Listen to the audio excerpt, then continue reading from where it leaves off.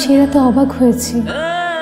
যখন তোমাকে বলেছিলাম, আমার না গিটারে বাজনা শুনতে অনেক ইচ্ছে করছে। একটা মানুষ কাউকে এত ভালোবাসতে পারে। হ্যাপি বার্থডে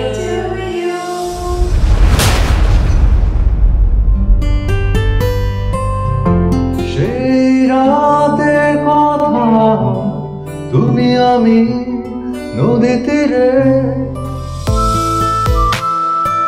জানো, আমি না তোমার এই কষ্টগুলো সহ্য করতে পারছিলাম না। I love you so much Sudipta. তাই আমি তোমার ভালোবাসার কাছে হেরে গেলাম।